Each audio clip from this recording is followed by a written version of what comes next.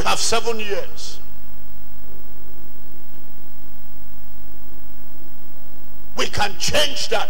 Prayer changes things.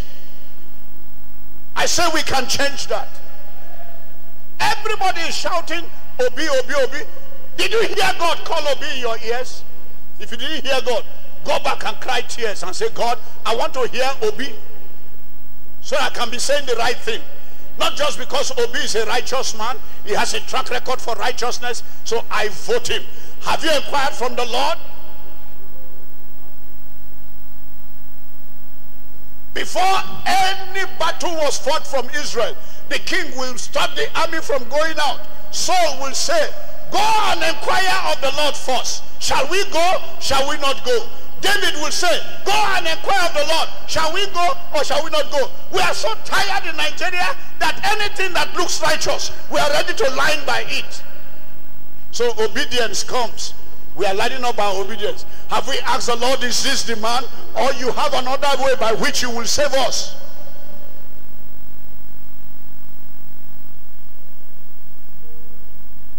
Find out the way. Oh, articulating. Atiku, Atiku, Atiku. Because Atiku has said if he dies, he has already announced it to the whole world. Okowa will become president and Iboman will become president. So that means Christians should follow PDP. Is that your only reason? Oh, Asiwaju, he has the money to buy Nigeria and buy the whole earth. Didn't Abiola have the money to buy Nigeria and buy? Don't you know Abiola was sponsoring the budget of nations? Nations in Africa. He donated to them the budget that they used to run their governments for two, three years. Abiola, this late Abiola. Did he reign in Nigeria? Did that qualify him to reign?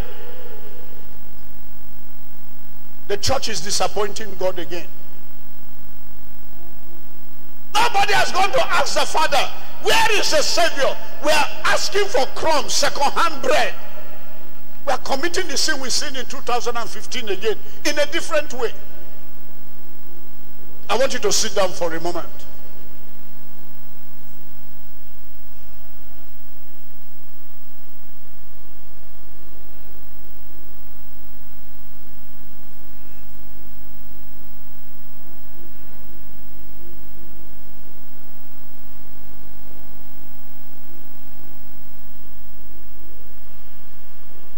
Is that song that ends with a chorus that says, is it bringing everything to obedience to Christ?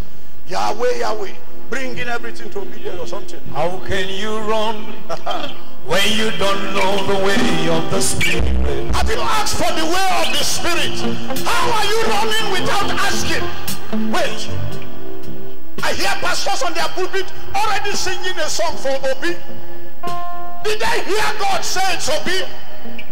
If anybody had, let it let us share intelligence report from heaven.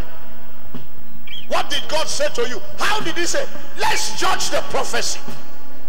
But if you don't hear, all you want is Buhari must go. Everything Buhari must disappear. Is that all? A good, what, what do they call it? Is it a gang reaction? There is a word they use in English. A something reaction. You are just following bandwagon reaction. That's the word. It's a bandwagon reaction. We hate anything, even a mosquito can reign, but not Buhari and APC. Is that you yourself? Are you not foolish?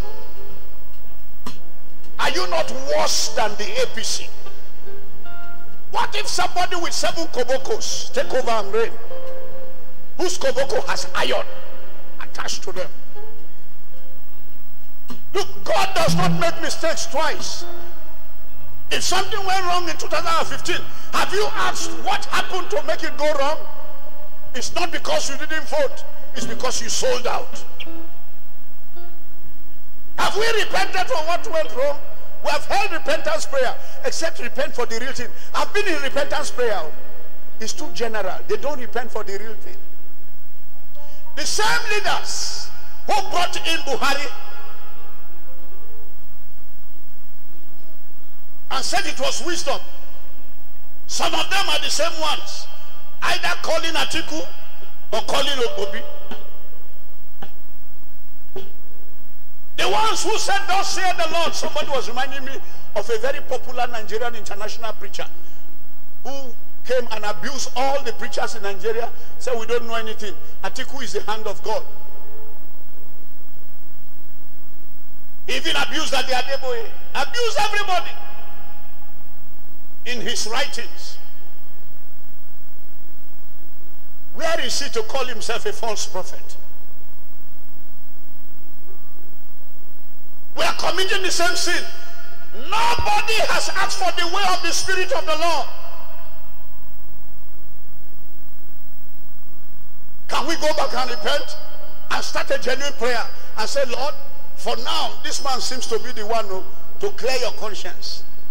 But Father, overthrow my will. Let your will take over. And don't feel embarrassed by it.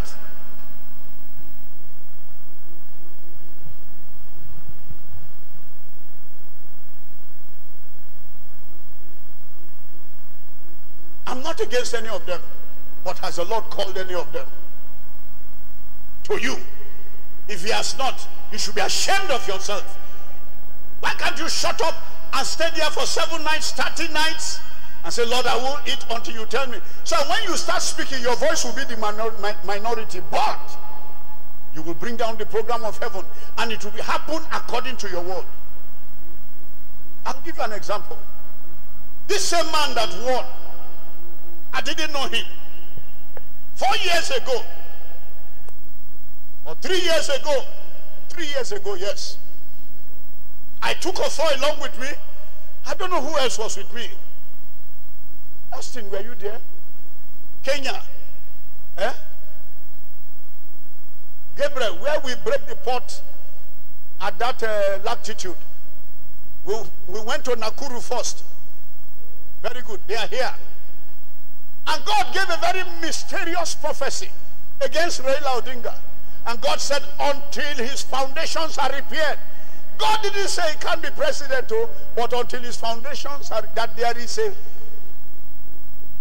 God has a problem with his foundations. And demons have problems with his foundations. He's owing them restitution. He's owing them money. He's, you know, when you owe Satan, he collects you. Oh.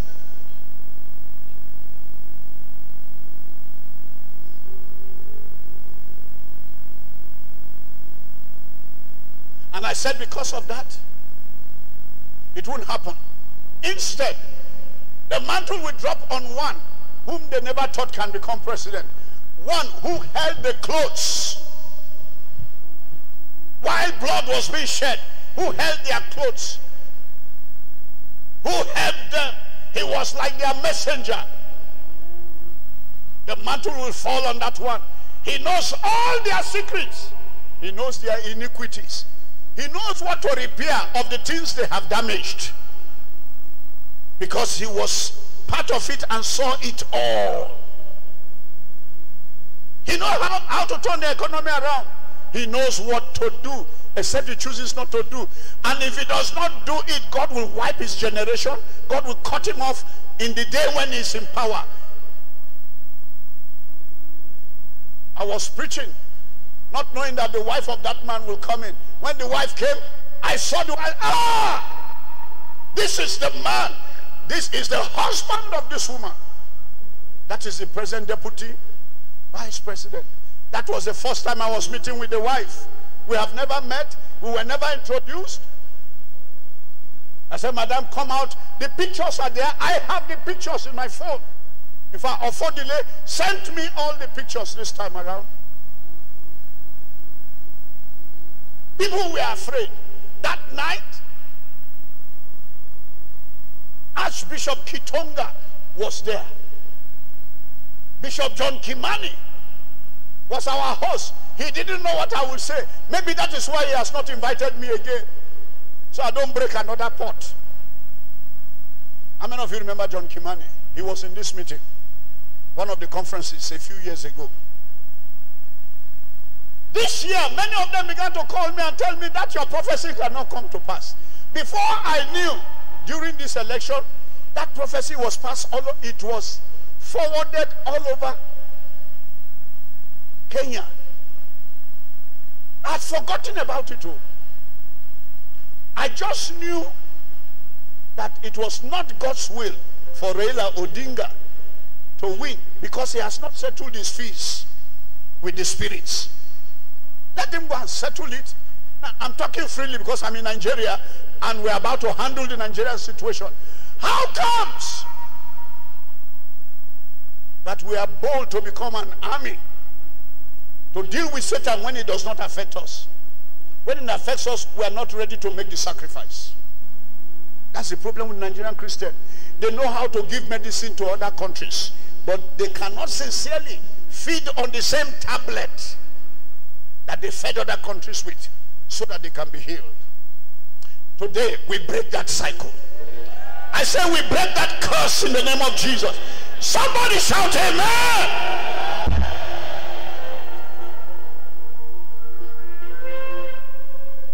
If we stop the wicked in other countries, we should stop the wicked in Nigeria. Oh, I have the tapes. I didn't know it circulated into Zambia. All the countries I've been to before the election. And all those who are our followers, those who come for our meetings in their thousands in these countries were holding their breath. They never confronted me with it because they were afraid. Why? Because they thought that Ruto was losing the election. At first, the polls favored him. Getting closer to the election, the polls disfavored him. And I said, oh, even if the other man wins, he won't rule.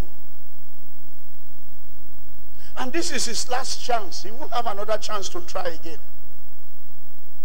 So for him, he said, do or die to rule now. Because it's now or never.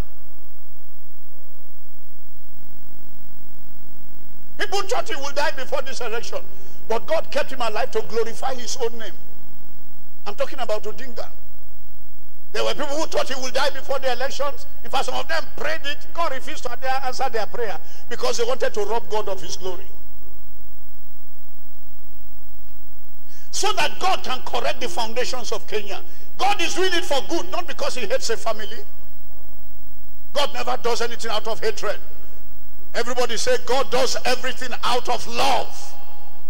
Even when he holds the stick over me, it is love. I didn't hear somebody say amen to that.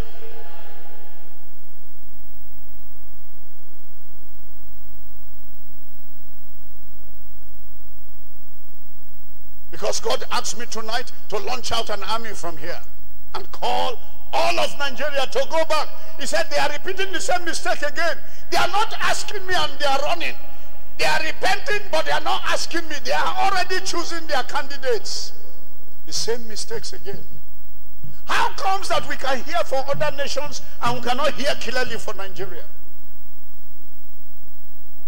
We are lying all these foolish prophets, stupid prophets, who do lukuluku first, calculate 2 plus 2. When they see the sun rise and it's slowing down, they'll say it's because Atiku is slowing down, so Atiku won't reign. And when they say the sun rise earlier than uh, 6 o'clock, they'll say, ah, Jagaba don't do it own, now Jagaba they come out. Interpreting according to what they see and what they calculate. And they will admit that is their own professorial skill. And they say it's a thus said the Lord. That's why these days, half of the prophets in Nigeria are getting the prophecies wrong. Because it's 2 plus 2. This time the weather is so bad that it is so confusing. Nobody is sure of who will win. Obi is rising like a wild wind. But even if he wins the presidency, he has nobody in the parliament to make him rule effectively. Except if all of them decide to resign and enter his party, which is possible. They can win in other parties since Nigeria is beginning to allow it and then all flow to obedience and become LP. Very possible. But it's un most unlikely that he will get enough to rule the parliament like that. We are all using our brains without thinking.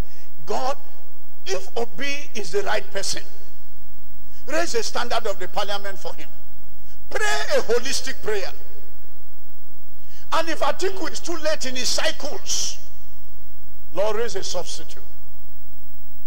Oh, Asiwaju is already falling down even before he has become president. He walks and he falls. Don't laugh at that. A man was walking and falling in US and still won the election.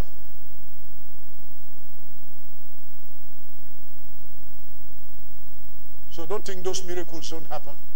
Don't, don't underestimate the power of the spirit and of the spiritual. So every calculation you are doing, where is the one of the spirit?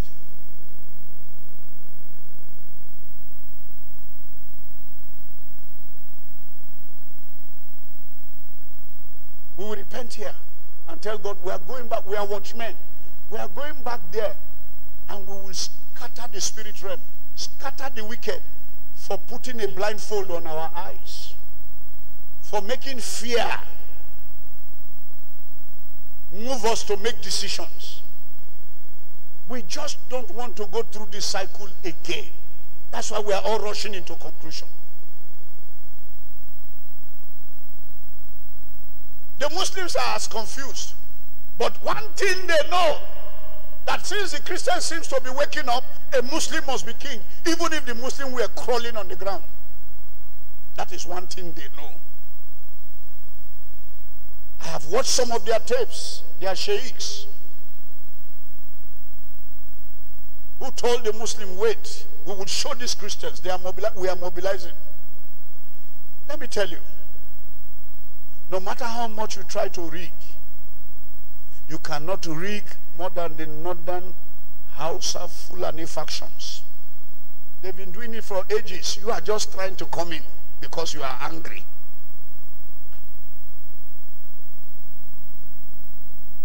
Oh, you are being prejudicial. Now, let me make myself unprejudicial for the lawyers that are here. Have you not seen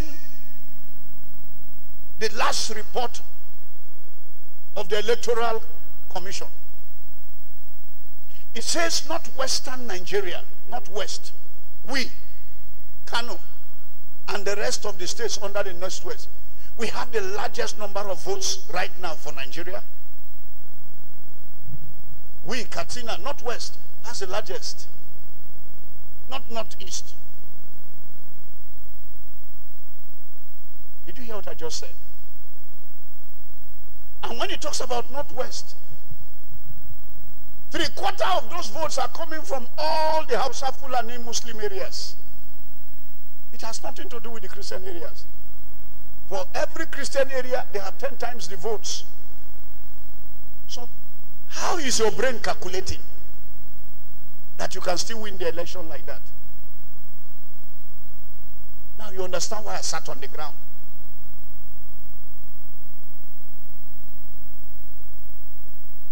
Except God speaks for the poor, whether they are Muslims or Christians this time. Remove that your Christian noise and Christian toga and ask God to speak for the downtrodden, the left behind. Did you hear what I said?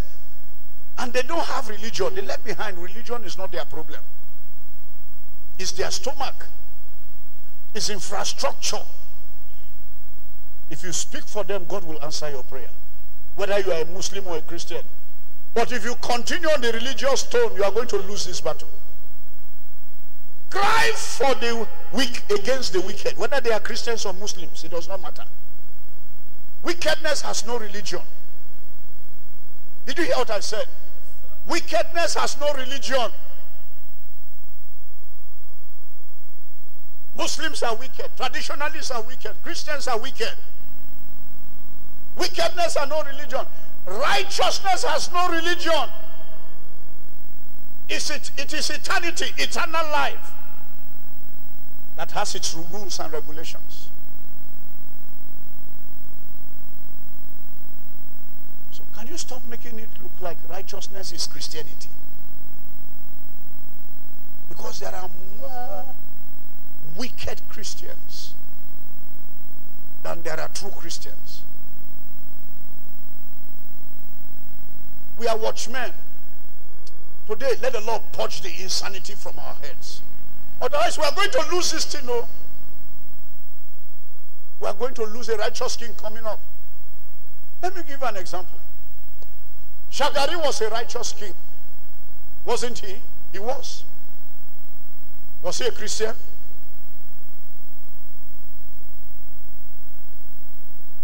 Let me give you another example. That one is more controversial. You are free not to agree. But from what I know, Obasanjo in the second coming was a righteous king.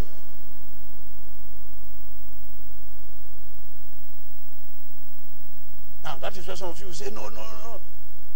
If you say he helped the Yorubas, that's fine. Small. Not fragrantly anyhow. But this telephone you are using to abuse everybody, Obasanjo opened the gate for you. Obasanjo set us into a new age and break us from post early independence seasons. Not even Shagari. True or false?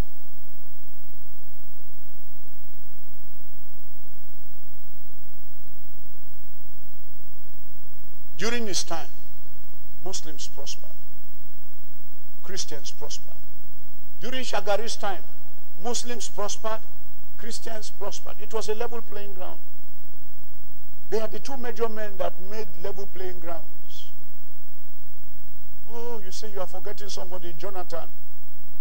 No, no, no, no, no, no, no, no, no. Jonathan neither opened gates for Christianity nor opened gates for Muslims. Eh? Jonathan's regime allow everybody to fight for himself. If you had more power than the other, uh, enjoy yourself. If you don't have power, wait until the day you develop power. That allow corruption, those who had power to be corrupt, to grow so corrupt. Did you hear what I just said? I said, Buhari, I mean, let's speak the truth. I know I'm in a peace commission. Buhari gave one religion an advantage. Maybe not for religious reasons. And gave one side of the country a greater advantage. And whether knowingly or unknowingly, made a religion stronger than all the others. That's Buhari's case. And I have a right to my opinion. And the Spirit of God seems to agree with me on this.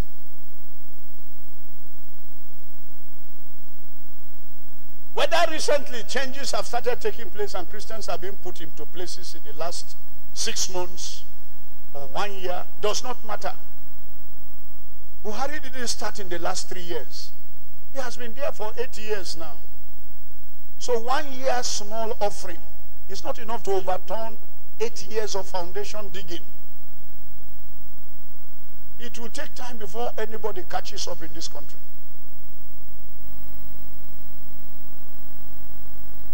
Now we are all dissatisfied. Why don't we go to the kingmaker? Whether you are a Christian or a Muslim, and say, Kingmaker, can you intervene? Instead of following sentiments and anger.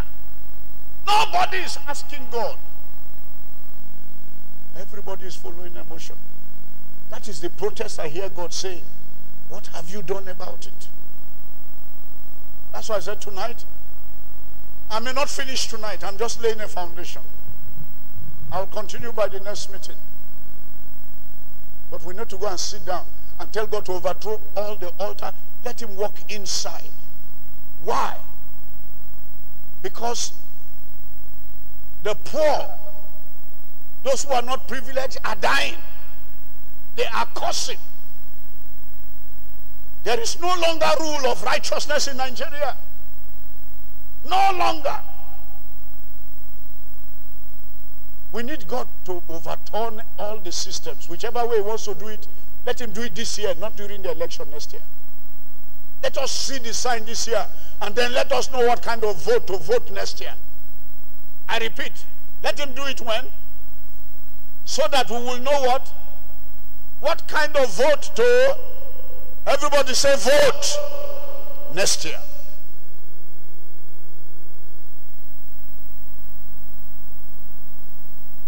This is the part one of this. And by the part two, I'll tell you who God is asking us to vote for.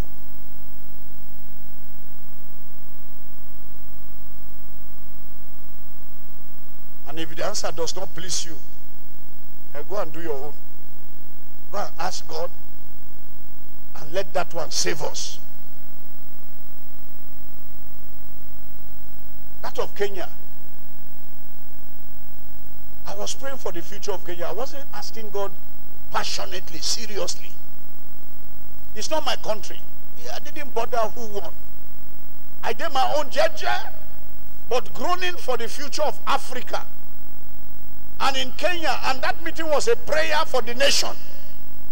It wasn't a normal meeting. That was why I was invited to speak about the coming elections and to speak peace into it. We were praying for peace, and God started doing ofofo. He started opening my ear eh, to gossip what will happen. He told me what to say and what not to say. I didn't tell them everything, no. But I said enough to put me into trouble and blaspheme the name of the Lord if God does not carry it out.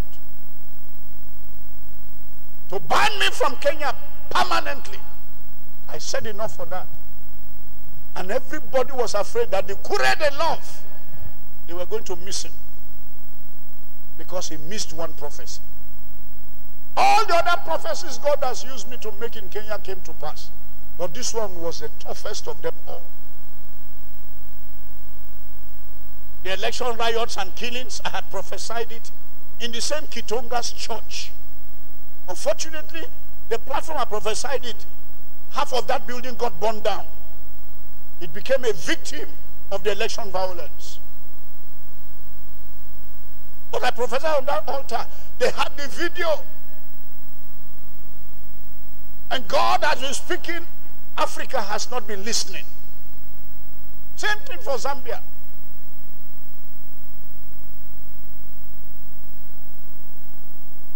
Told them the end of the former regime had come in Zambia.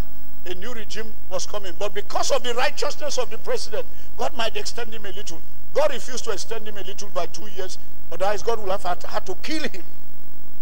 So that he might live because of his righteousness. God removed him when he should be removed. But God said a woman is coming as a president very soon in Zambia. A woman president will rise in Zambia. I don't ask for these things. I don't fast when they come. It's after he has shown me that I start fasting because I become afraid.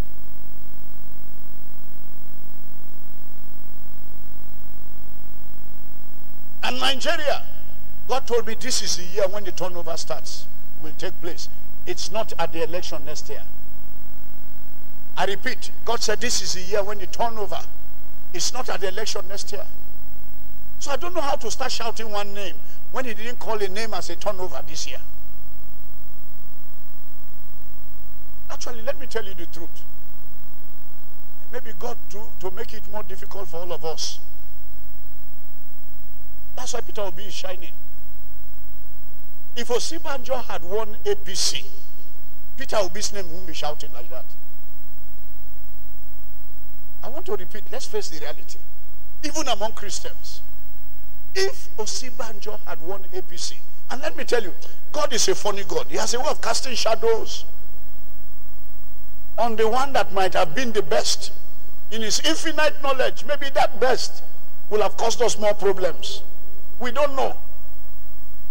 He did not take number two in the election. He took number three. That is a very bad result. Forgive me. I know I'm talking on television. And I know some television stations will refuse to carry this. Go to the YouTube. You will watch it freely. Oh, I'm very sure. So I'm not going to encourage them to send them on television because they will show it. It's too hot.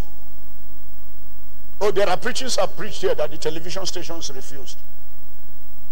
They said it was too hot. Number three.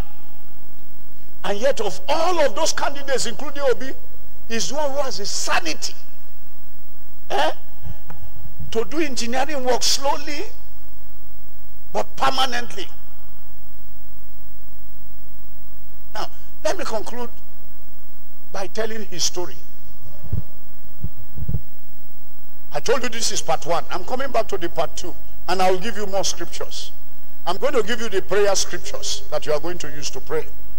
Let's use it to challenge the Lord. And I'm done for tonight. And by the next meeting, let's bring everybody. Rosh Hashanah is our next meeting. Come, let's cross over together. Our next meeting is, September, is uh, uh, September what? Or is it October? Is it October 2nd or September 20 something? Have you announced it? 25th? Is that the Rosh Hashanah? Our next meeting is not the Friday, the last Friday. It is the day of Rosh Hashanah. The beginning of a new year for Israel. The day when it is believed Adam, uh, uh, uh, Adam was created in the garden. We believe that Nigeria will be created also that day. You must bring everybody, bring your children, bring your family. That's where we are finishing this part two. Bring everybody. And tomorrow, I wasn't in the last meeting. Both this one and the one in Abuja. So tomorrow I'll be in the one in Abuja. Early in the morning, I'm, flying, I'm moving straight to Abuja to hold the national altar. I started this year. I'm going to continue in Abuja, but not the part two and not this part one. I'm just going to enter into a small dimension and we'll raise a cry for Nigeria in Abuja tomorrow evening. So you see, I'm not resting yet.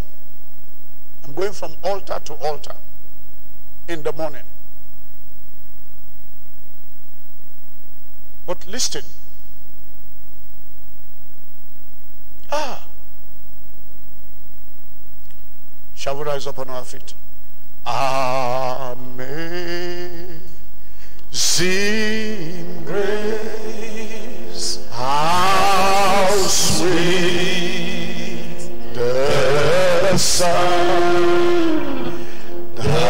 saved. Oh God, save Nigeria. Ah,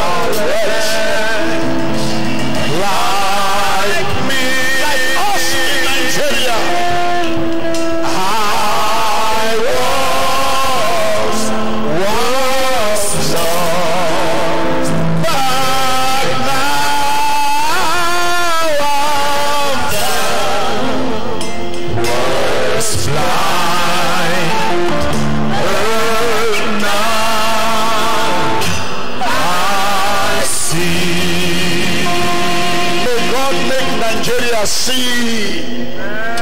Oh, this is why I don't like holding some night meetings.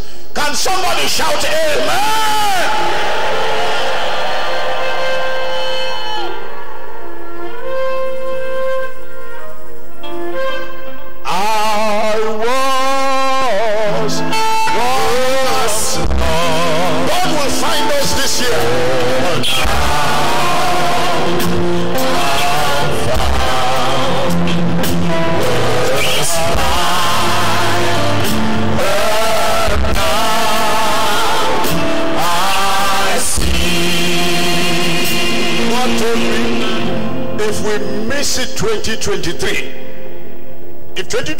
2023 does not become our jubilee, ah, Nigeria might hardly find its feet again. Again. So if you want to permanently relocate out, wait till 2023. Then you can find your way to the neighboring country and build a new house, get a new farm. And those of you who cannot, dig in. And then those of you who, your whole community will have to migrate to the south for protection, go to the south. You know, I once told you that there was a time I was carrying out that idea for Southern Kaduna. I once confessed that on this altar. that I was thinking about that. I actually went to beg for land from a governor. In case the fire becomes too much here, rather than all of us die, let's migrate for a little while. When Nigeria sees three quarter of us migrated to a new place, the world will come down from where it is to come and fight for us. While I was busy begging those governors, the Spirit of God came there literally to me. They didn't say no, they were willing. And said, Did I send you? Why are you so desperate? Why are you in despair? I said, God, because I've not heard you speak. And we are dying. Will you wait until we all die? And I'm a leader in my time? History will not record that I did not do anything. You told me to go back home. I would have been enjoying myself in Abuja or in America or London or somewhere else, Canada, preaching the gospel with great congregations and still winning souls for you.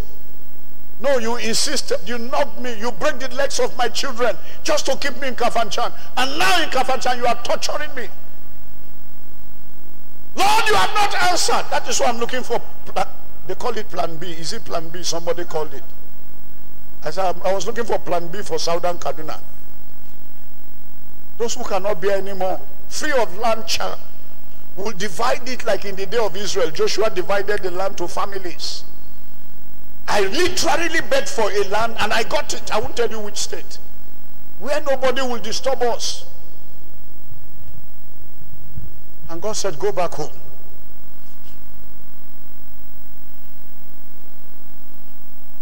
Go back home.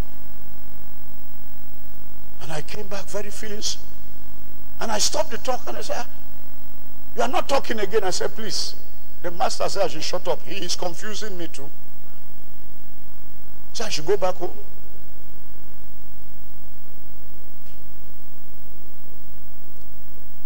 Listen. Sit down because if you stand on you will start. Now that you are awake, listen. 2015, the first thing the church used to do is repent. we were to get it right. We were not against anybody. We were not against Buhari. We were not against anybody, any of those candidates. Many of you had my prophecy that time. I saw Atiku. Even before he was elected PDP leader. I saw him standing for the presidency. But how many of you remember the prophecy? He had no cap on his head. That means he had no crown. And then he wasn't wearing proper shoes. He was wearing slippers that this local house man wears that sells sugarcane. How can a president be wearing slippers and his normal traditional cap that he wears when he wears that kaftan? And he was wearing the kaftan. I remember the color of the kaftan. If I, if I see anybody wearing it here, I'll tell the person to stand up. But I remember he has that kaftan. I've seen him wear it before. He was wearing that kaftan, but with slippers. And God said he will win the party. So when PDP people called me, ah, sir, I have sons in PDP and APC. Who will win in our party? They had all lined up behind Tambuwal and somebody else that time. While they were there, they were calling me on the day. And I said, Atiku will win. They said then we are changing, we are going to Atiku. I'm talking including governors. I'm going to stop there. I'm not going to call names. But including governors. Sorry. Who had planned for somebody else. Atiku, Tambuwal, I don't know that plus Wike. But there were contestants there. But Tambuwal, I remember Tambuwal very well. And Tambuwal was a favorite. I think Saraki. And this, I said, Atiku, overnight, that night, they changed their stand. There they were lining. They were called betrayers the next day, but the person they stood for win, won. That is the same prophet. I didn't go to the newspaper to announce that. Those of you who were in the National Assembly prayer breakfast, I repeated that there. Our members who were there, I repeated the same thing. I know they hide what the Lord say, and I know they increase, and they stop there. Whether he give solution, or no give solution, no. Now where he stop, me at they stop. Then I saw Nigeria without a president. I saw that from the day, the first day Buhari came, that there was no president on the seat. So who was ruling? I don't know. That is why there is jaga jaga everywhere. God is not ruling. Whatever spirit is ruling, is ruling. They say something, there is something about about void. Uh, is it, you cannot, something about void. You know, power, you can't leave a void. But then in the spirit realm, there was a problem. And I couldn't hide it. I said, so some people say, well, since nobody was on the seat, Atiku will win. Not without a cap. And I told them, I told the Lord, Lord, if you want Atiku to wear a cap, because they were going around greeting, uh, forgive me, Muslims look down on Christians. And a few Christians have made themselves our voices. So much that the Muslim cannot discern the right voices to go to and the wrong ones. They were to come to PFN. I was the national secretary of the PFN. I said, ah, Father, if it is your will that Atiku wears a cap, when he comes, tell me what is the reason why the cap is not on his head. The same thing I prophesied about Raila. And tell me why he's wearing shoes and not wearing shoes, slippers, so that we can carry him through deliverance in the day when he comes to look for our vote. Make him wear a cap because we need somebody to claim that seat. Because as long as there was no cap, he had no chair. I'm telling you the story of what happened that time, which I told the fathers. And I spoke it. National television was there, NTA. But they cut off that one and they spoke about my talking about a new constitution and unity. Yes, I spoke about a new constitution. But I also spoke about Buhari and I spoke about the president. They didn't put that one at all. They would have closed down their television. NTA was there. National Assembly. PK, were you in that meeting? Kevin was my oddly that time. No, was it Kevin or him? I can't remember now. Because I have the pictures. The present secretary, Mustapha, boss, was one who represented the president in that meeting. Uh, this man, Dogara, was in that meeting. I prayed for the two of them. The pictures are there. Told them what was the will of the Lord. That is why they don't come this way anymore. They are afraid the will again will be too wicked. Or will not favor. That's why the wild wind is busy dealing with us. Like somebody said, once and for all, let God deal with this matter. Let us rest. I said, I'm happy Nigeria is coming to that place where they don't care how God does it. Let him do it. Are we all in agreement on this? I wish we had the same spirit that time. And Atiku sent some people to me as secretary to the government. I know their names. They were former ministers in Jonathan's government who were Christians. They were the ones, one or two of them were the ones took him to Oyedepo and took him to other people. But to meet PFN, because they had met, I mean, they had met Bishop Oyedepo, and I, I don't know whether they met that they are. I think they did. They decided PFN didn't matter again. The fathers of PFN they have met them and the fathers give them blessing. So the fathers will command the PFN. That's why I like the way that the Adeboye does his things. If you go to him, he will say, whatever my fathers in PFN, when he wants to dodge somebody, he say, whatever they say in PFN and can, I will follow that one. My vote is their vote. Even if they are wrong, I will do their will. I've had him say that several times, not once. He said, go back to them and he will sit down and keep quiet. And he has vowed he will never divide the church.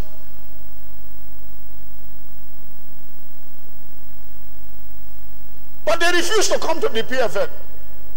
My president, Omobude, is there, Reverend Omobude. Omobude told them, if you want to fix a date, meet Kure, because I will want Kure to be in that meeting that day. They wanted to go and see me in Benin alone. He said, no, you will see us as an executive. So they came to my house in Abuja, claimed that upstairs. I remember that day. I entertained them. And they said they wanted to see us. We fixed a date. And they said they were going to tell Atiku and they will come back. And I said, God, except if Atiku does not stand there. If he stands here, I don't care how many Christians are there. If I pray the same way for Obasanjo, Atiku will go through deliverance. Because we want a correct president with a correct atmosphere and spirit around him. Not spirits of witchcraft that have their contentions from their found, his foundations. Who have troubled him all his life. Not them following him to rule in Nigeria with him there will be more confusion. No? He has to go through that deliverance. So I hope one prophet that God has not sent is hearing this tape so that he can go and carry do the deliverance if he can. Because God has not changed his mind. God has not changed his mind. And that is why it is difficult for him to be my candidate when I know what the Spirit said. He has not seen God put a cap on his head again yet. If during the prayer in these six months, I see it. I will tell you, I saw it. Oh, change your mind. Let's articulate. But I have not seen. Neither have I seen. Let's be obedient. When I hear, you will hear. I will lead the way. The church must go back to its creator. The Muslim imams, if they truly claim they hear God, the sheikhs, let them go back to the creator. Nigeria needs help now. Any seer, anybody who is connected to God must go back to God. Don't follow emotions of religion and kill ourselves for nothing when the Almighty has not spoken.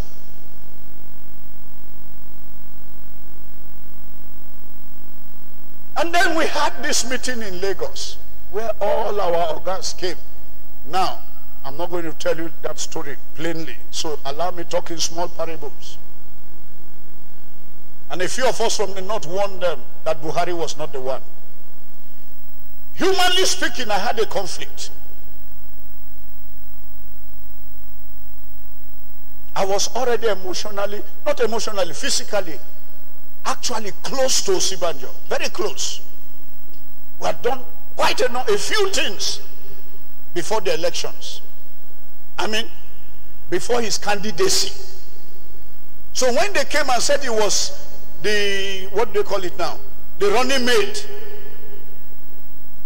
to Buhari, I became confused. I had a choice. Should I be true to God? Or let the friendship becloud me a little? Let me step down my high horse and flow with the people. And then they annoyed me in those meetings. How did they annoy me? They said, because of the vice president, all Christians should vote for Buhari. I said, what? Is that what the Lord has spoken? Everybody ignored God though. They said, it is being logical. He is a pastor. That day, I remember the contribution I made. Number one, I said a vice president has no power. He lives under the magnanimity of the president.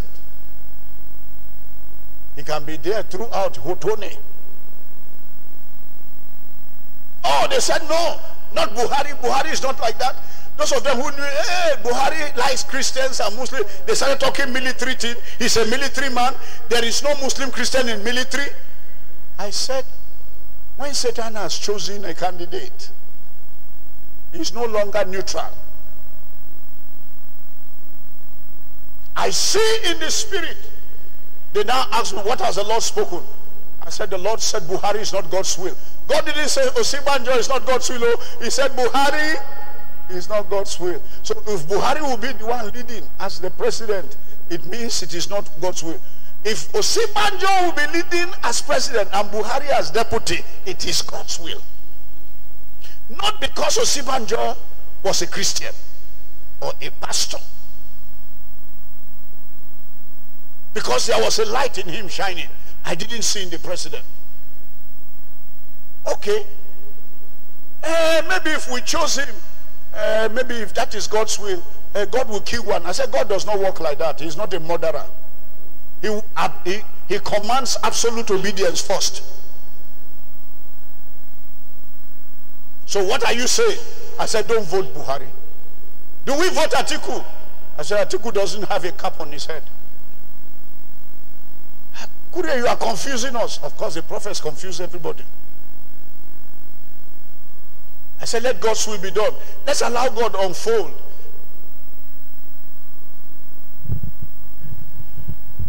Bishop Oyedepo was in that meeting. He raised his hand and said something that annoyed people. Everybody got angry. They angered him so much that he carried his things and walked out of that meeting. I won't tell you where he stood. I'm only telling you where I stood. It is him to tell his own story. Why he walked out of that meeting.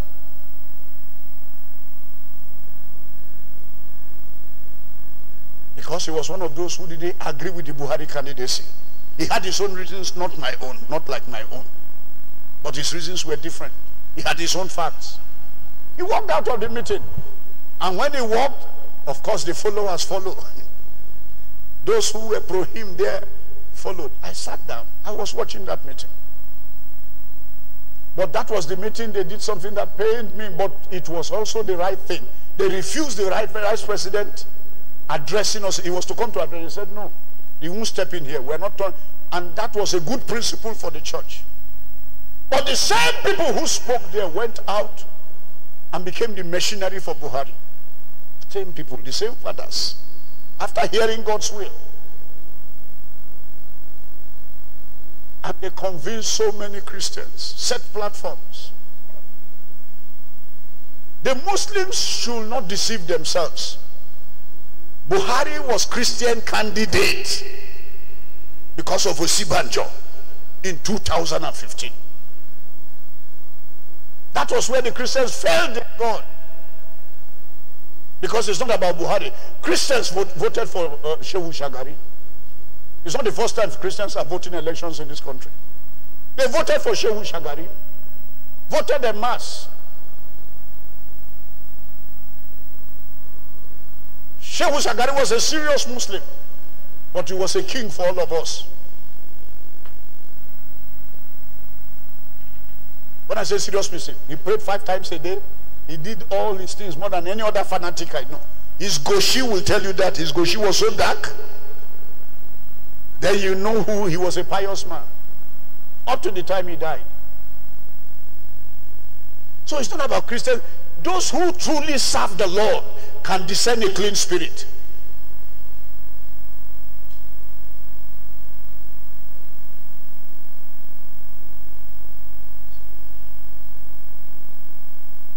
Now look, to let you know the light in Osinbajo, have you not noticed any time they gave him to act, Nigeria suddenly came alive, lit up, light flowed. Even if it's one sentence he made for that one week, the economy begins to grow, everything, everybody is happy. So they stopped making him to act. I told them he is a vice president. You can't, God will show the president mercy because of him. But no more than that. And God showed Buhari mercy because of he had an altar as an assistant. Even in the deathbed, to punish the Christians, God will not hear those prayers of those ones who were asking Buhari to die. Look, it is true that there were those who prayed, who thought he will die so that Atiku may take uh, Buhari, I mean, uh, uh, uh, Buhari will die so that Osinbajo can take over. It's a truth. Somebody said that some time ago, and in my heart I said that person is telling the truth. Now listen. Buhari has finished his own. Can we go back to the Lord and correct the mistakes we made? One, let's repent that we were the horses that brought in our oppression. That is where we start. But if we don't admit our sins, it means God was a foolish God in 2015. We are not trying to blame God. We, I King Allah, but I King Allah. It was answered prayer for some other people. It wasn't answered prayer from God. The church, the same people are now running around. In fact, quite a number of them are part of those shouting disobedient thing. I said, what kind of Christians is this? Did they hear I don't say the Lord? And these are people who teach you prayer like never before. It's not the issue about Igbo or about Yoruba or about Hausa. is the future. Who has God sent to deliver Nigeria now? From all these rulers from independence who have bought us with our money.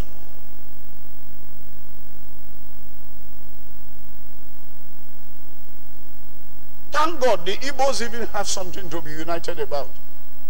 The Obidient is slowing down some of their divisions and their causes. But that is before Obi came up, the Igbo race was scattering completely.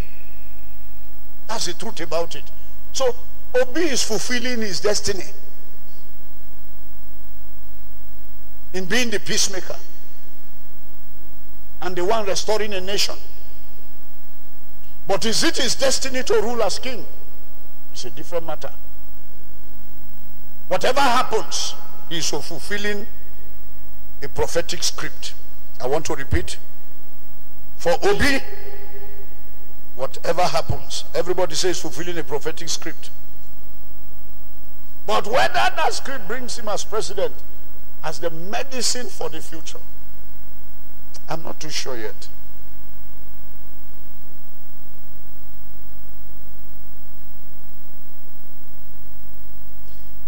And I had the Lord, I said, God, is the solution there now? He said, no. The three presidents or presidential candidates or four, there is no solution in any of them. I said, God, what did you say? I repeated again. Did I hear you right? Is the solution there? He said, no. The solution is yet to come. How many of you remember what I told you some two vigils ago? I said judgment must go forth first. How many of you remember that? then the way of the Lord will be open. The judgment has not finished. We're already waving our flags. And judgment began and is still going on. We have not, Christians have a way of forgetting. We have not allowed judgment. That's why I'm going low. When the judgment is over, come back in two, three months' time and ask me who the president is. By November, most likely I will tell you. The end of November. But the judgment is going on. Do you even know whether Obi will survive that time? Already there are those passing a gossip that there's an attempt to kill him. How many of us know tomorrow except God? So can you be careful? Do you know when you will reach December? Do you know that Atiku will see December? That one is in the hands of the Lord.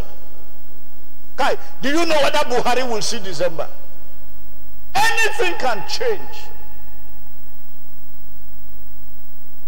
Why don't you go back and say, God, finish your judgment. Trouble him about that. And let the road open. That's the conclusion of the matter today. Before the part two. When you will see clearly. The same way God made me sit on the ground and said, what about you? What have you done? What are you doing? Are you clearing the way? Or you are just folding your leg and asking me do something? Oh yeah, Lord, in the name of Jesus, I confess. Is it today we are hearing confession from all our bishops? If their confession had that kind of power, we would have had a different president in 2015. It's not a confession issue. It's not a positive confession issue. Somebody has to boldface look God face to face, mouth to mouth, and settle this matter. Hmm? Not take his word and confess. We have confessed his word for many years over this nation. Sometimes that work, but this time, you must hear from the mouth of the Lord. And you must run with it. Don't go and represent falsehood that it is the Lord. The Lord does not rule by a Muslim or a Christian. The Lord rules by a chosen one. for that season. You didn't hear what I just said? Maybe I've made it more difficult for many of us. You have been waiting for me to talk. I've kept quiet. That's why when they called me here in Southern Kaduna to put mouth, I'm keeping quiet. Because our situation is even more difficult in Southern Kaduna. It was easy before. It's no longer easy. We need to hear from the Lord. And I tell you as the Lord liveth, this time around, I must hear from the Lord.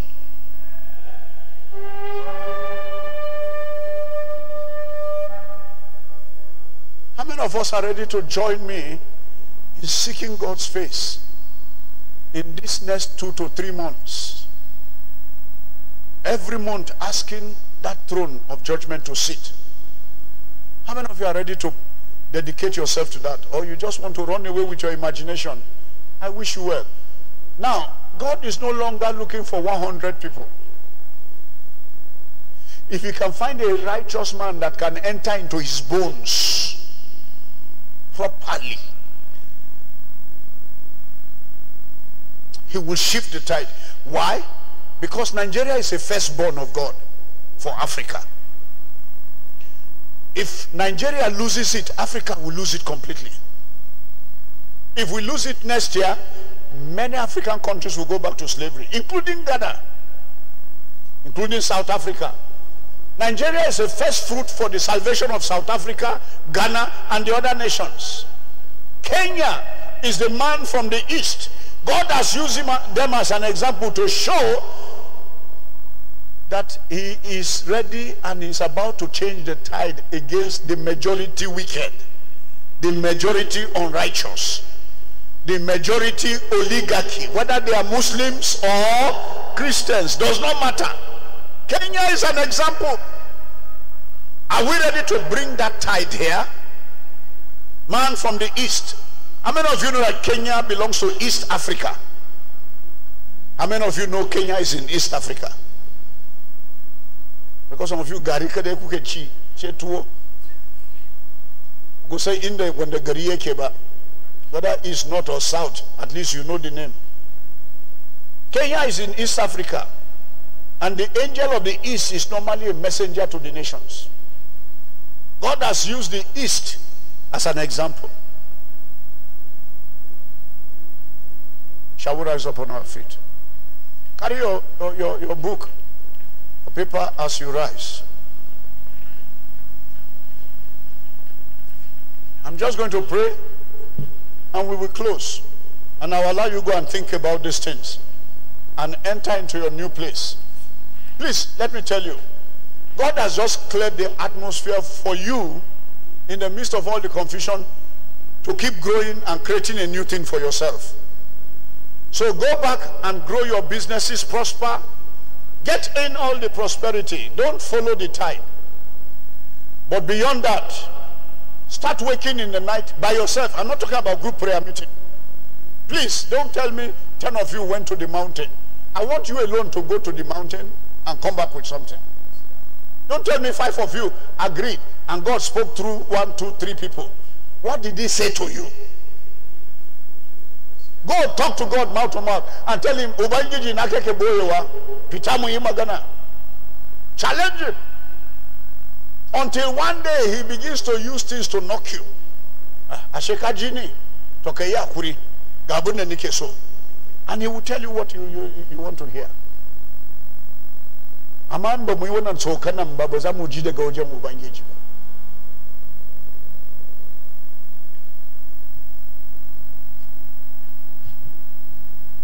Yes, he reigns forever. Yes. Jesus, you reign forever. Baba, oh, yes, he reigns forever. Psalms 9 verse 16 to 20 16 17 18 19 20 put it on the screen the lord has revealed himself He has executed justice. Striking down what? Now, one of your prayer items is that as he moves in that wind, he should do what? Strike down what? Hello? Are you reading the English? He says, striking down the wicked by the work of what? He's going to use their works to kill them. So this voting period, this period of election, of uh, running around campaigning, he will use their own work of their hands to strike them down. They will be making mistakes and canceling themselves one by one. Can you shout amen to that? That scripture is one of your prayer items. So write it down. That's why I'm reading it. The Lord has revealed himself. You know, I told the Lord, and the Lord was standing quietly and looking down at Kenya. Until I sat on the ground, then he revealed himself. So it meant as long as I put my leg and say, and do that tired prayer, oh Lord, you know you're our last hope. And then I sleep off. Lord, you know we have suffered a lot. Lazily with my full stomach. My friend, go and start fasting. Go and start crying. Let him feel you. Even if after you finish fasting, you have to take vitamin C and vitamin D3 because of your age. You have to take calcium. Take it, but fast. You have to take omeprazole. Even when you don't have ulcer. You have to take, uh, what do you call that medicine? Somebody, Gascon. Something, something, scone. Eh? Glass. Gaston. Gascon. Eh, Gascon. To help soften the hungry, void stomach so that your bowels can move properly because of gas. Bring all those things or you want to buy gas reducing teas. When you finish fasting, calm your belly and say, belly, it's the day of the Lord. The Lord needs this temple now. Yeah, and when you are doing it, tell God, because of you, I'm taking Gascon. Because of you, I'm taking this. I wasn't taking it, my friend. Please, Lord. And see whether God will do something. I sat on the ground. I sat on the ground. I mean, when I say there is nothing special about sitting on the ground. I wish you saw me sit on the ground. You will know what I mean. I said, Ubangiji, where, do I, where are we going to? If you will not save us, kill us from now. Don't let us die by the hands of these people. Why are we running away from uh, uh, Fulani bandits and our own indigenous conspirators who bring them to kill us? You kill us. Don't you have a hand? Why are you waiting for them to, to kill us for you? Kashemu de kanka. Kai imbaza kashemu ba katsede wana And I sat on the ground. And I won't be comforted. I said, Lord, I will continue disturbing you until I hear the report in Kenya. Now, before the report came from Kenya, he said, stand up. Your prayer is go and eat, clean yourself, wash yourself, that day I took my family to dinner. Unfortunately, it was at that dinner I was so about Momira Arwa's death. And it removed the dinner again. I couldn't eat. We were actually on the table. I was breaking a fast.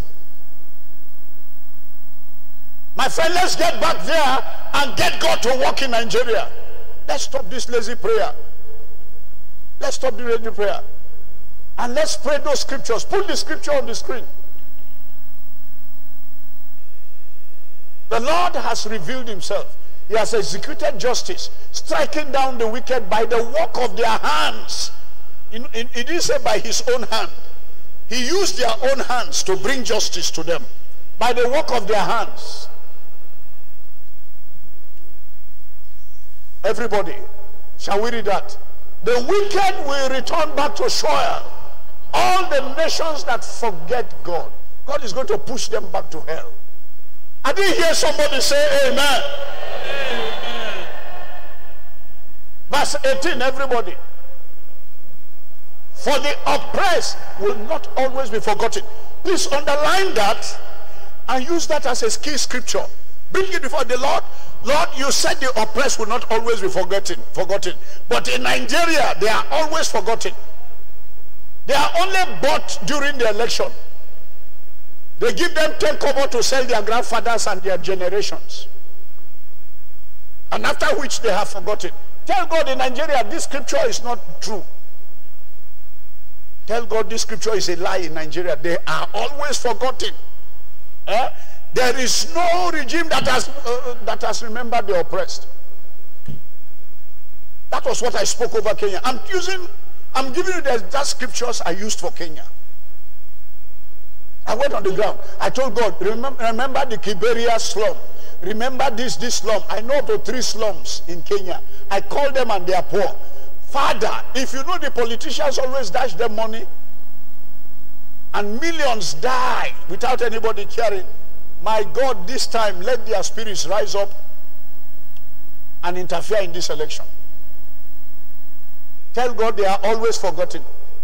Tell God this is the opposite in Nigeria, except if you do something. The Bible says, everybody, the next voice, the, the next scripture, the, the next words, it says, the hope of the afflicted, afflicted will not perish forever. Only you can stop it from perishing forever. So it's our business to make sure this time around the clock ticks differently. Can we go on, please? Verse 19. Everybody shout it out. Rise up, Lord. Now, I want to ask you, who has always prevailed in Nigeria? Man. The hand of man. They come, they intimidate us. Somebody will come and intimidate me with imprisonment. I'll keep quiet. They will send a policeman to deal with me, and I keep quiet. But this time, every man who intimidates us shall be cut off. I didn't hear somebody say amen. Everybody shout it to the heavens. Oh yeah? Put that scripture, let's read it. Everybody shout it. Rise up, Lord. Do not let man prevail. Let the nations be judged in your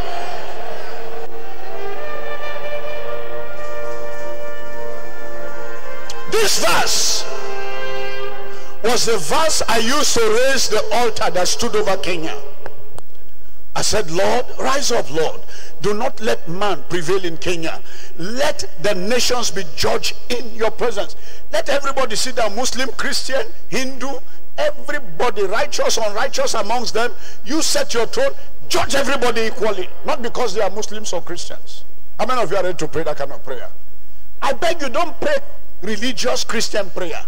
Tell God to judge both the Muslims, Christians, Hindus, everybody. If the Kegites,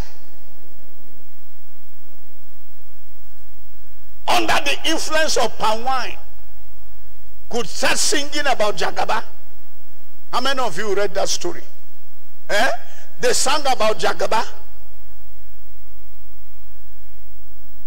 And Wole Soyinka had to warn them to be respectful of elders.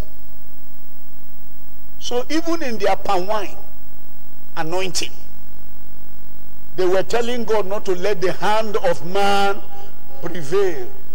And they are Kegites. They are more righteous than you.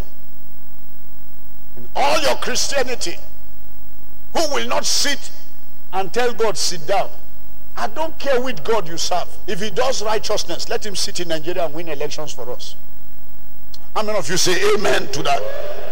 That will be the test of a true God, whether there is a father watching over this nation. Send this tape everywhere. I'm not afraid of it. Send it everywhere. That of Kenya was sent everywhere. The church, everybody must go back who can call upon God and get the hand of God. Save us from the hand of man. Everybody, let's repeat that verse again because that's a key altar verse. Then you use all the other verses for argument. Rise up, Lord. Do not let man prevail. Let nations be judged in your presence. Verse 20. Everybody. Put terror in them, Lord. Let the nations know. How about what else do you want?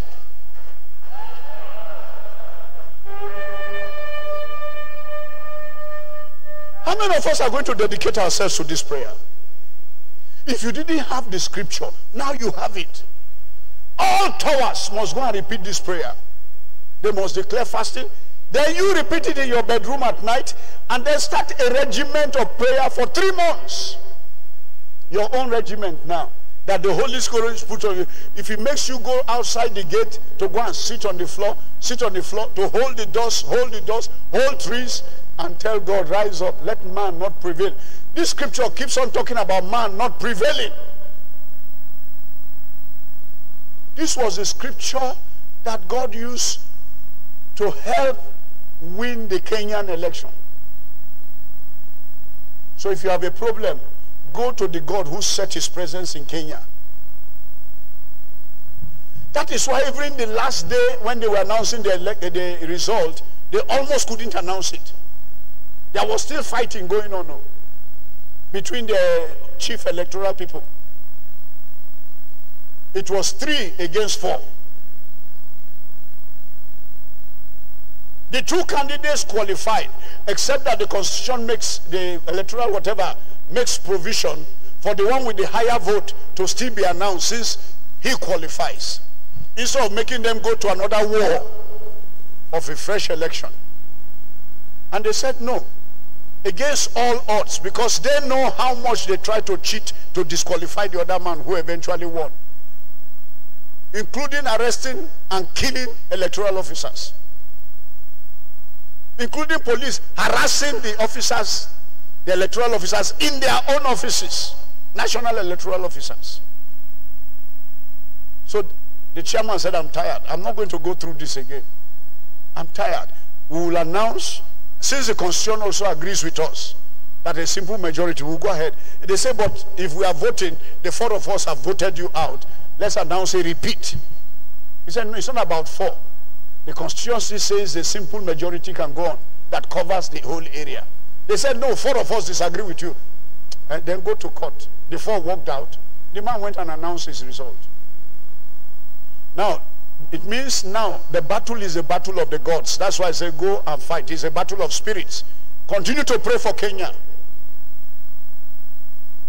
How many of you have watched their television? The poor people came on television and said they are not dying for any rich man again. It's answered prayer. They are not dying for any man again. That they have done their vote and they are satisfied. People from all the same tribes, the tribes, so including the tribes of the president, they said they are not voting again. They are rich people. The new fight is a rich man problem. We poor people, we have told you what we want. We are not going to die for any of you. Go to the court. Whoever court says is his own, we agree. But we're not going to die for anybody. Meaning that the poor man is sending it back to the throne that gave them the election. Now, who are the midwives that advise that throne? You and me, watchmen. So go back to the throne and sit with God and be watching what God is doing. And watch that prayer through. That for once the poor man will have a voice in Africa I repeat, that is the first time the poor man will have a voice in Africa. If the Kenyan one succeeds. It will send fear into others that the majority of the wicked will not always win election in Africa. It will send fear to South Africa.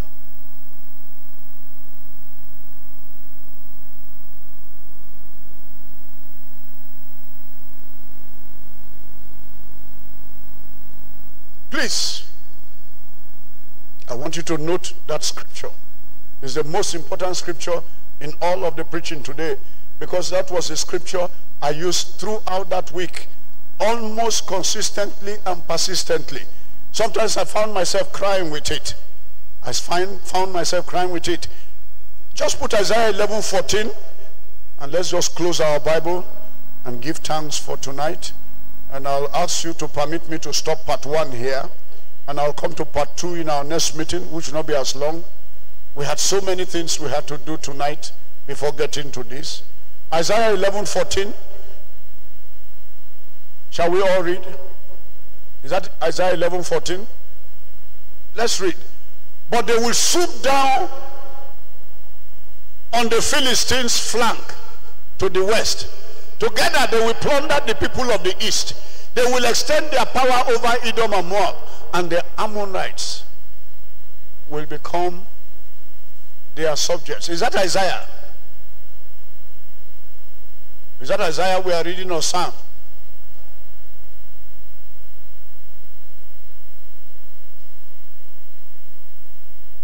They will swoop down. Let's ask God to swoop down. Let them swoop down on Nigeria. Let the angels swoop down on Nigeria. Put the uh, uh, the King James version. All the others, it was HCB, but a hair. But they shall fly upon the shoulders of the Philistines, fly upon their shoulder towards the east. They shall spoil them of the east together. They shall lay their hand upon Edom and Moab, and the children of um, Aher, and the children of Ammon shall obey them. Is that what Obia was looking for? After they have swooped down, the children of Ammon will obey them by force. So let's ask God to sweep that. That's why I kept on saying strike down. You will notice the scriptures I've shared with you has to do with striking. Striking. This is the season for striking. The Lord will give you utterance. Can we thank God for this morning? Let's just give him glory. I've already blessed you with the blessing that the Lord put in my mouth to bless you to go and prosper.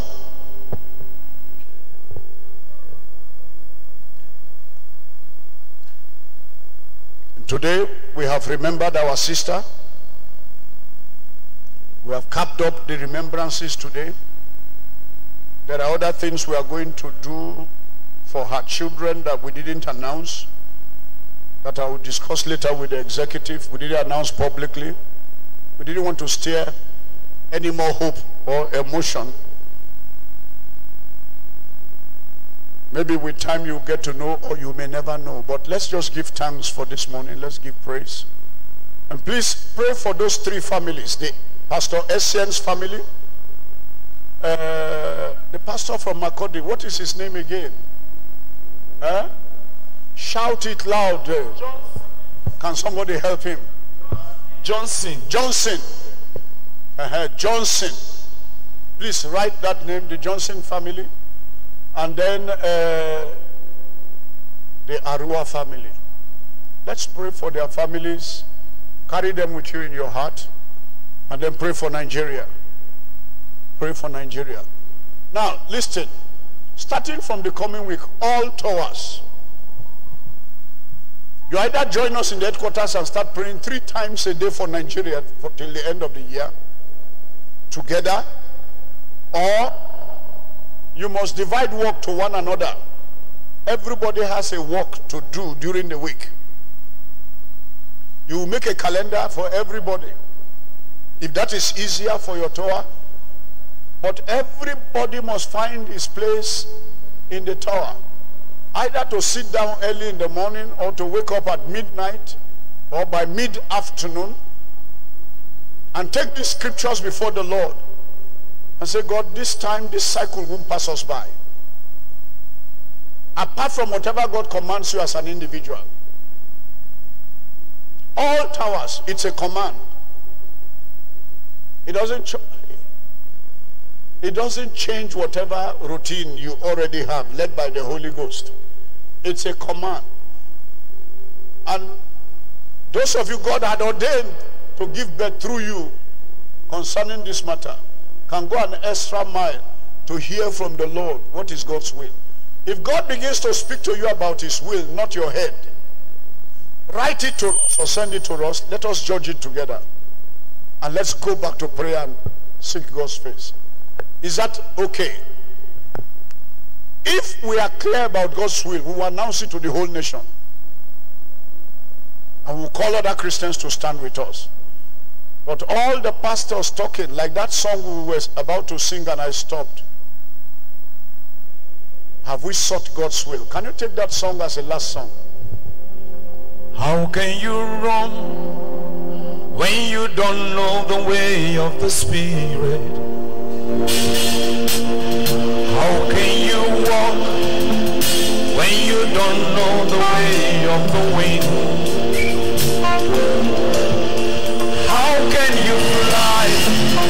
Like the eagles when you don't know the way? The power at work in you, changing everything in obedience to We need to change everything to the obedience. of Christ. changing everything in obedience to Swallow your pride tonight. Come to the school of the Spirit. Don't you know? In His hands is the key to eternal life. And a little there until the day will come. He starts walking you, changing everything. Yeah, in obedience. Changing everything. Yeah, obedience. I was going to wear a brand new dress today.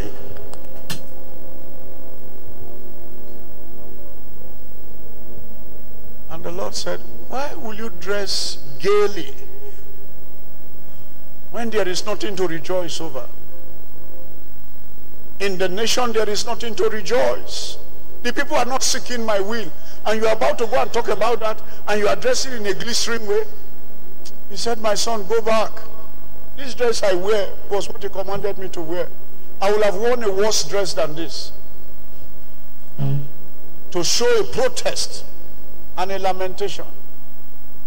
He said, You are trying to look like a very successful man when your country is not successful. When your country is, is struggling. When you are still struggling to get people to do God's will. When there is death everywhere, you are going to dress gaily. Said, God will choose for you a dress. I'm telling you why I'm standing like this. And you will notice these are covenant dresses. Those of you who know this dress. You will see the badge there, then you will recognize it. He said that many of you, even if you see 20 times, you won't remember where it came from. But those of you who are diligent will know where this dress came from. You will know exactly where we bought it. Look at it again. It's a covenant of Shiloh. You can't buy this dress anywhere else in Israel except in Shiloh. I started looking for dresses. Black and black self. I brought, look, if you go to my wardrobe now, many dresses are on the floor. And God will say, no, no. Until I found this trouser, I said, that is a trouser. And I took another 20 minutes to find this one. Otherwise, I had other ones that were white, including that of the youth. The one I was to wear on the day of Zion. There was one with a lion head that I was gifted. I was going to wear that tonight. God said, no. Until I found this. So I want you to go like an ordinary man. You must not show off anything until the day I usher myself, I utter my voice. I said, Lord, what did you say? He said, you must not show off anything until the day I do what? Utter my voice. You are rejoicing when there is nothing to rejoice about. Living in the realms of positive confessions. While the enemy is taking over everything. You think your noise will overwhelm the noise of the other people? It will not. Their noises are always louder than your own when they start making it. My friends, go back to the throne and let's bring God down with us and march through Nigeria with God. When we do that, a new nation will be born. Can you say amen to that? Please get this tape, listen to the end, get the challenge, take snippets of it that are proper, and send it round. Because it will not be put on television. God is not happy with the church in Nigeria. Even the prayer movement, they are not starting from the place of repentance. And when they are repenting, they are not repenting for selling God off. You say, how did they sell God? Don't you remember that Israel sold off God when it asked for a king? They asked for their kind of king. And God said, I will give you the kind of king you are looking for. You are looking for a tall man. You are always looking after the eye. It was after God punished them that he chose his own king. That was what we did in 2015. It is for that sin. It is not written in the Bible that Israel repented. And Saul truly oppressed them. Or did you see in the Bible that Israel repented? That's what Nigeria is doing now. We are not repented for 2015. That we chose a king God didn't choose for us. And we are going as if God is a fool, ignoring him. And again we want to choose another one for him. I won't join the crowd. You can go ahead and choose your king. But let it be written that the, the, the prophet protested. And he said he won't be part of it. I want to go to heaven. Away with your rejoicing. Any man who has consulted with God, including our bishops and archbishops and all the many 10,000 prophets who are seeing things through water and through spirits. Get them come and tell me exactly what God said. See, God is answering by thunder. Come and tell us what God said. But please, can we stop rejoicing when God is not dancing yet? And let's stop announcing names God has not announced. Farabale, keep calm you will soon know the people that God has chosen to lead us next year. But God said next year he has to write a new constitution. Is that what Obi will help us do? Is that what Atiku will help us do? Is that what Jagaba will help us do? A new constitution must begin next year. I've been consistent about that. We need to write a new agreement. The Igbos must sign that they agree that their interest is covered. The Hausa and the Fulanis and the Mbamaguje must sign that they agree that their interests have been covered. The Banshu, the Chapman, and then the, uh, the, the Adamawa tribes must sign that they agree. The Maiduguri tribes in the south must sign, the Chibok people must sign that they agree with that contract.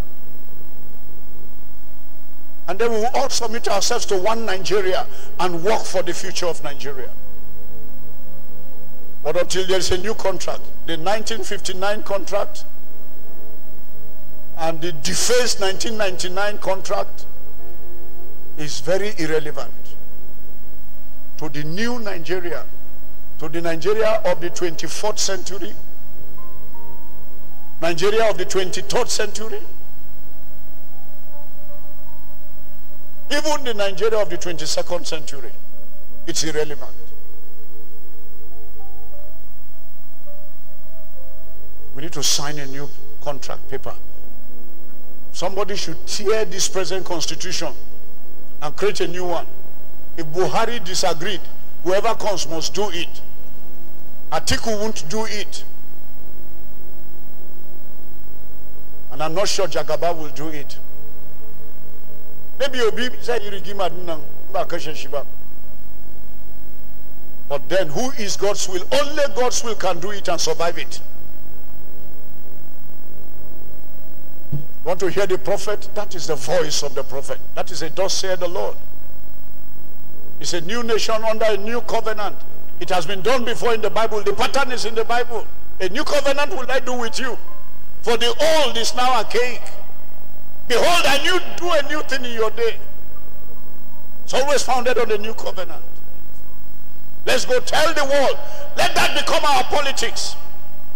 We should not ignore the Igbos. Don't ignore anyone in this country. We all have rights in this country. Don't ignore Benue. The man has cried out his heart, bought uniform, uniform of a general, and they are still mocking him. and taking the Benue people are not important. Don't ignore anybody. Don't ignore Adamawa people. Don't ignore Southern Kaduna people like they are doing. Don't.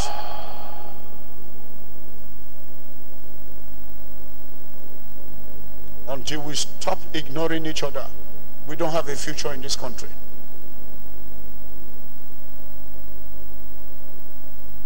Can you raise your hand and say, God, set your throne in Nigeria and let your presence supervise that throne. Let the cry of the downtrodden come to you. Let your spirit strike down the wicked and the path they have created for us. Can you ask God to strike down the path they have created? They have drawn their calendar for us. Drawn an election that they have already finished rigging. I repeat, they have drawn an election that between the parties, all of them have finished rigging. Can we ask God to overthrow them? And choose a new and a sure way. Tell God we don't care which way, even if it hurts us, do it. Please, if you cannot tell God even if it hurts us, don't join us in this prayer. But do it. Let's suffer once and live hereafter. That's my stand as a prophet. And that's what the Lord has spoken to me. We have not touched the real thing yet in this country. And we want victory. Can you say in the midst of this, grow me like a tree planted by the riverside. Ask God to grow you, yourself and your family. And protect us from the evil of the wicked man. And provide our meals when due. And put money in my hands, oh God. Put clothes on my body and establish my high places. Can you bless the Lord for answering your prayer? Thank you, Lord. Can you take a seed for the salvation of Nigeria? Let's just take one more seed. And as you drop it,